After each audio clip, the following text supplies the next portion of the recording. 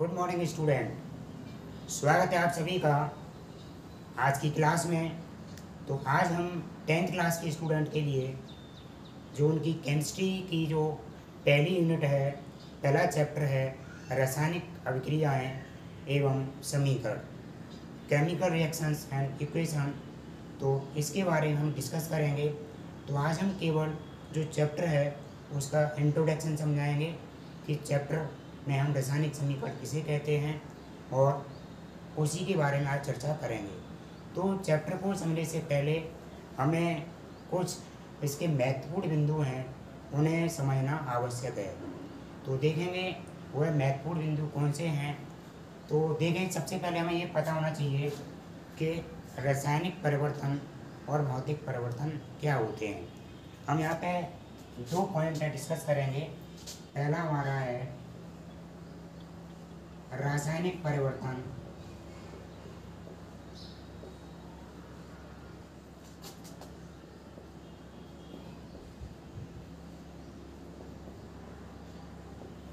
और जो second point है हमारा, भौतिक परिवर्तन।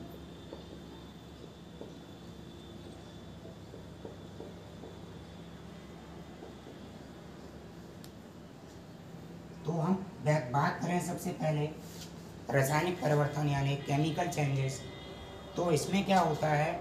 यानी रासायनिक परिवर्तन, वे परिवर्तन होते हैं जिसमें अभिक्रिया होने के पश्चात कोई नया पदार्थ बनेगा जिसके जो रासायनिक गुण हैं, वो पहले वाले पदार्थ से अलग होंगे। यानी जो प्रारंभ में पदार्थ है, उसके जो प्रॉपर्टी हैं वे और जो नया पदार्थ बनेगा, उसकी प्रॉपर्टी है उनमें भिन्नता पाई जाएगी और रासायनिक परिवर्तन के अंतर्गत पदार्थ अपनी पुनः प्रारंभिक अवस्था में नहीं लौटते हैं। हम बात करें इसके एग्ज़ाम्पल के लिए, जैसे आपका दूध दूध से हमारा दही का बनना। तो हमने क्या किया? दूध है हमारा। दूध से हमारा क्या बना? दही। तो ये किस प्रकार का परिवर्तन है?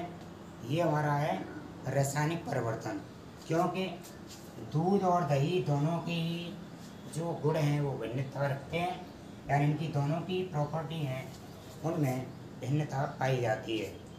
दूध की प्रॉपर्टी अलग है, दही की प्रॉपर्टी अलग है। अब इसमें जो हमारा दूध से दही तो बन गया, लेकिन हम दही से दोबारा दूध नहीं बना सकते। अतः ये हमारा किस प्रकार का परिवर्तन है? ये हमारा है रासायनिक परिवर्तन। इसी प्रकार हमारा जैसे हम भोजन खाते हैं तो भोजन का पचना, वह भी हमारा क्या है? रासायनिक परिवर्तन है। या हम बात करें लोहे पे जंग का लगना, रासायनिक परिवर्तन है। लेकिन हम बात करें भौतिक परिवर्तन की तो भौतिक परिवर्तन हमारे वे परिवर्तन होते हैं, जिसमें पदार्थ हमारा, हम और जो चेंजिंग आएगी, वह उन्हें उसी अवस्था में लौट के आ सकता है। जैसे हमने बिजली का बल्ब जलाया तो बल्ब हमारा जला और बल्ब को हम दोबारा उसे स्विच को ऑफ़ कर देंगे तो वह फिर से हमारा उसी अवस्था में आ जाएगा।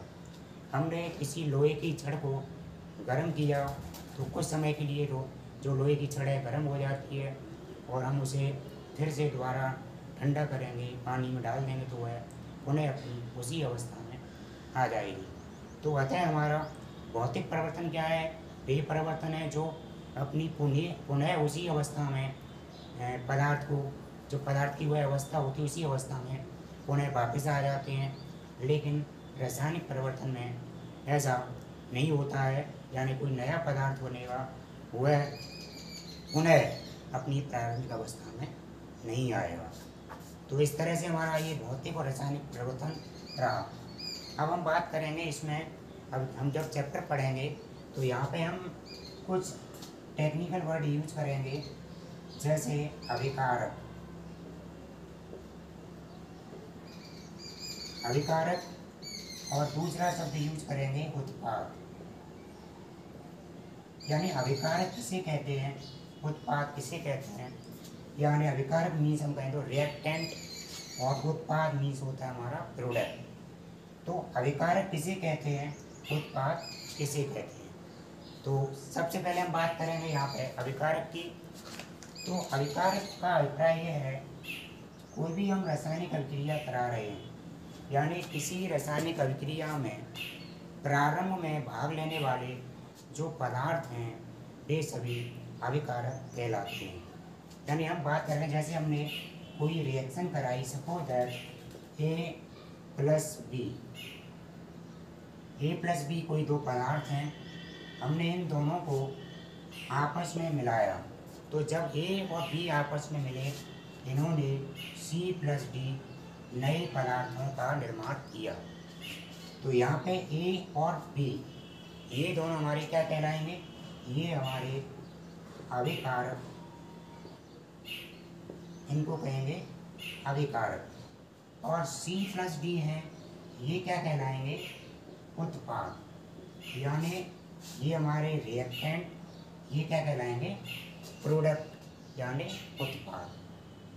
फॉर एग्जांपल देखें सपोज़ दैट जैसे C plus O two is equal to C O two यहाँ पे कार्बन और ऑक्सीजन दोनों मिलकर के यहाँ पे कार्बन डाइऑक्साइड का निर्माण कर रहे हैं। तो यहाँ पे जो कार्बन है और ऑक्सीजन है वह हमारे क्या हैं? ये दोनों ही उत्पाद हैं। ये दोनों सॉरी ये दोनों अभिकारक हैं। क्या है ये? अभिकारक या रिएक्टेंट और जब इन दोनों ने आपस में अभिक्रिया की तो जो नया पदार्थ बना वह हमारा है उत्पाद, यानी प्रोडक्ट तो आपको अच्छी तरह समझ में आ गया होगा। कि अभिकारक क्या होते हैं? किसी रासायनिक अभिक्रिया में, प्रारंभ में भाग लेने वाले पदों को हम अभिकारक कहते हैं। आप नोट कर सकते हैं कि किसी रासायनिक अभिक्रिया में भाग लेने वाले जो भाग भाग लेने वाले जो प्रारंभ में पदार्थ होते हैं, उन्हें ही अभिकारक कहा जाता है। अब उत्पाद की बात करें तो अभिक्रिया होने के पश्चात जो नया पदार्थ बनता है वह हमारा उत्पाद कहलाता है। इसके बाद देखेंगे हम, जब ये चैप्टर पढ़ेंगे तो हम अभिक्रियाओं में कुछ विशेष शब्दों का यूज़ करेंगे, कुछ विशेष चिन्हों का भी यूज़ करेंगे। तो देखें जब हम अभिक्रिया लिखते हैं तो यहाँ पे जैसे हमने कोई अभिक्रिया की, अभी suppose that A plus B और यहाँ पे हमने ये मार्क लगाया, फिर बना सी प्लस डी इसी प्रकार मैं इस क्रिया को ऐसे लिखता हूँ ए प्लस बी फिर मैंने एक एक ऐसा एरो लगाया, जो डबल हेड एरो है, यानी दो सिरों वाला। और यहाँ पे फिर सी प्लस बी बन रहा है। यानी यहाँ पे हम बात करें इस मार्क की, ये चिन्ह की, और यहाँ पे ये अलग चिन्ह है। ये हमें किस बात को इंडिकेट करते हैं? यानी ये हमारा चिन्ह है, इसे हम इजिकल टू बोलते हैं। या हम इसको क्या कहेंगे? सिंगल हेड तो हम मोस्टली इसे, हम बोलेंगे इजिकल टू और ये हमारा क्या होता है? ये रिवर्जिबल होता है। रिवर्जिबल का मतलब होता है कि ए प्लस बी है, वह सी प्लस डी में कन्वर्ट हो सकता है, और सी प्लस डी है, वह ए प्लस डी में कन्वर्ट हो सकता है। जैसे हम बात करें एग्ज़ाम्पल जल है। जल से हमारा आइस बन रही है बर्फ़ तो हमारा क्या है? जो बर्फ़ पानी में बदल सकती है और पानी बर्फ़ में। तो ये हमारे चिन्ह हैं, वहाँ उनका इस रिएक्शन में यूज़ करेंगे। तो उसको क्या कहेंगे हम? इज़ इक्वल टू और इसको बोलेंगे हम। रिवर्जिबल रिएक्शन जब भी आप रिएक्शन लिखेंगे तो इन वर्ड का यूज़ करेंगे तो आप इसी तरह से उनको बनाएँगे। अब इसके बाद हम नेक्स्ट बात करते हैं। हम कोई भी रिजेक्शन लिखते हैं तो कभी कभी आपने अभिक्रियाओं में देखा होगा कि कुछ अभिक्रियाओं के जो उत्पाद बनते हैं, यानी जो प्रोडक्ट बनते हैं, उन प्रोडक्ट में ऊपर को एरो होता है और कुछ अभिक्रियाएँ होती हैं, उनमें बने हुए प्रोडक्ट होते हैं, उनमें नीचे को एरो होता है। तो हम देखेंगे, जैसे हमने एक रिजेक्शन की थी सपोज़ दैट हम बात करें अभी A plus B is equal to C plus D और इस रिएक्शन में हमने यहाँ ऊपर को एक एरो बनाया है।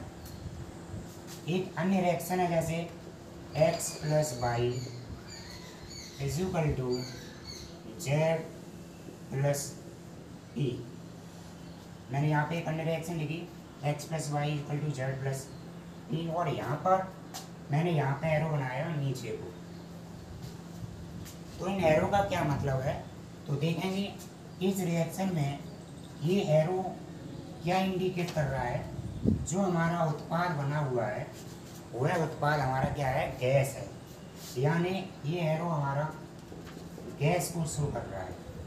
किसको शो कर रहा है? गैस जिन, जो भी हमारे उत्पाद होते हैं, उनमें जो एरो ऊपर को बना होगा, वे सभी हमारे उत्पाद होते हैं, वो गैस को बताते हैं कि ये गैस है। और जिनमें हमारा जिस तरह से यहाँ पे ये एरो बना हुआ है, यानी बहुत सी हम रिएक्शन कराते हैं तो उन रिएक्शन में देखा होगा कि यहाँ पर इस तरह से एरो बना होगा, या इसके नीचे एरो बना है।